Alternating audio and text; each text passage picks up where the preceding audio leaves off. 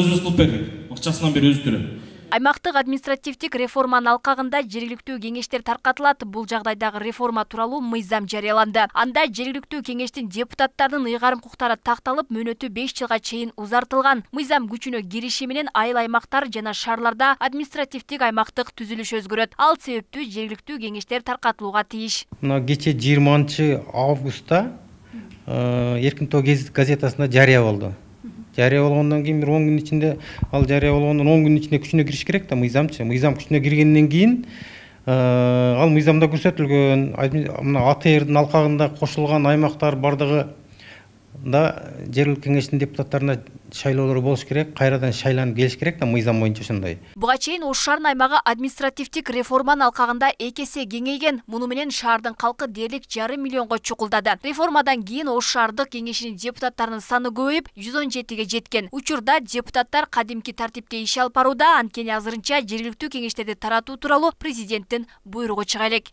таркатылсын деген указ чыккандан кийин анан ошондо депутаттар таркатылабы же болбосо кийинки созыв келгичеңди бул депутаттардын мындай ыйгарым укуктары сакталсын деген. Ал только бир гана президенттин гана указына жараша болот да. Айылдык кеңештерден келген депутаттардын өздөрүнүн башкача регламент менен иштеп келишкен буга чейинчи а бизде башкача регламент ош шаардык депутаттардын регламенти башка регламент менен иштеп келгенбиз биздики статусубуз да башкача алар айылдык кеңештин бири бири менен аз маз кээ бир жерлерде түшүнбөстүктөр болуп атты иштешке оор экен жүз он жети депутат менен.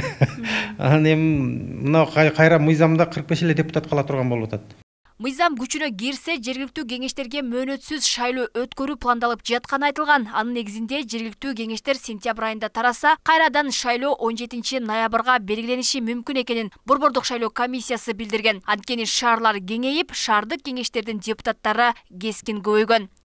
Шаардын эли эле көбөйбөстөн шаардын проблемасы да көбөйдү да эми ошол жакка белиндеги каралбай калган ташталып калган аймактар шаардын ичине өттү эми аларды караш керек. Алардын суусун жолун мындай курулуштарын баарын караш керек да ош шаарына жүктөлдү ошого байланыштуу ошол проблемаларды көтөрүш үчүн ош шаарына эң жакшы бир мен деген депутаттар келиш керек да ал эми ош шаарынын ичинден эле шайланса анда тиги айыл аймактардагы депутаттардын то есть элдин көйгөйүн чече албай калышы мүмкүн ошон үчүн тигил жактан дагы татыктуу депутаттар айыл аймактардан келип ош шаарына депутаттыкка катталыш керек алар.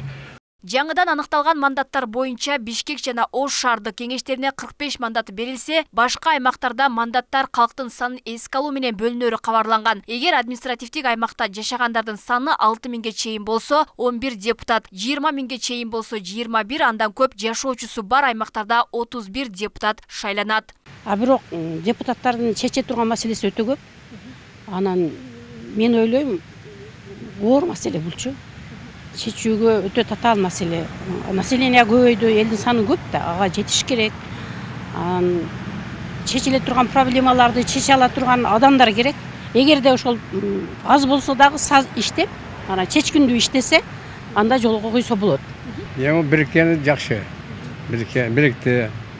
Эми бир аз эле эл менен бир айыл өкмөт болуп алгандагы анан бир эч нерсе иш болгон эмес да мындай эми экономика деп атпайбызбы экономиканы элди баягы жөнүндө иштебей эле отуруп эле кайра айлык алгандын деле кереги жок да бириктирген абдан жакшы мага жагат да административдик аймактык реформа боюнча жаңы кабыл алынган мыйзам экинчи августтан тарта күчүнө кирген. Үчүнчү августта президент садыр жапаров жергиликтүү кеңештердин депутаттарын шайлоо жөнүндө мыйзамга кол койгон. Ага ылайык саясий партияларга шайлоо босогосу жетиден беш пайызга түшүрүлгөн.